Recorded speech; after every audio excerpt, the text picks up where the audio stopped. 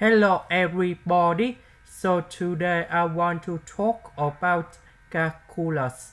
The topic that is about integration. So now I want to show you how to answer. So we need to find the value of this one. So we can use about integration by substitution. So I will put about u equals to 2x. Later that we need to do first the derivative for the both side. And we have like this. Because we don't have number 2 next to the x, so we divide both sides by number 2. Next, we need to change the bounds.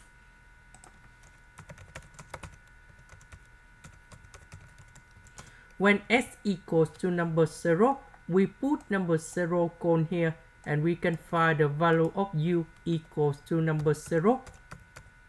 When s equals to number 4, we put number 4 cone here. 4 with number 2, we have number 8.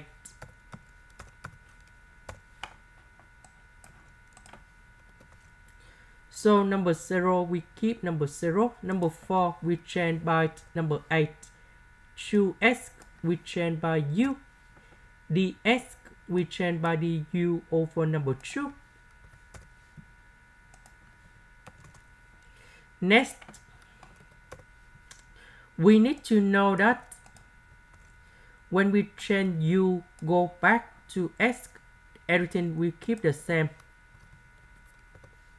And we know that this integration that is about number 5.